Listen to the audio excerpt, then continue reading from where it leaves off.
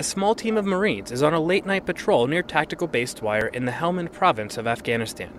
Members of Charlie Company, 1st Battalion, 7th Marines, take their mission to secure TB Dwyer very seriously.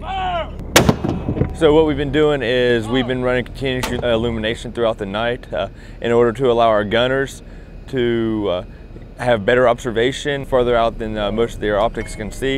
At the same time, uh, with the enemy knowing we're there, it's uh, hindering their movement more because they know that we can see more than just the close bubble around us. Sergeant Burgess has a lot of experience as a mortarman, experience that he uses to help train his Marines.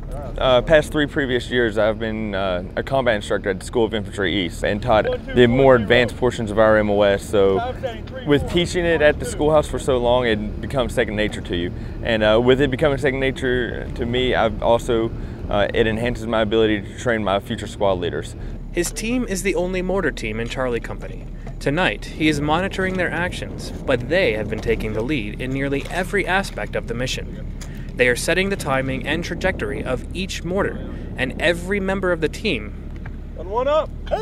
gets to drop multiple rounds. Oh, what they've been experiencing tonight is very valuable. Uh, all three of the guys we brought on this deployment, all three of the uh, 41s, the mortarmen this deployment, are all junior guys that have stepped up and have taken squad leader positions. It's been giving them a great opportunity to uh, put their new skill test to use in real operations.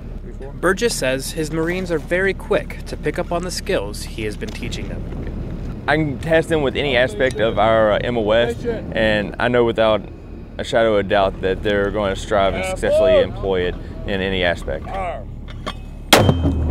As they complete this mission, each member of the team receives important experience that they will use in future missions, and to teach members of their teams when they become team leaders. Reporting from Tactical Base Dwyer, I'm Sergeant Christopher Toby. I feel like you got way too excited on that. Yeah, he did.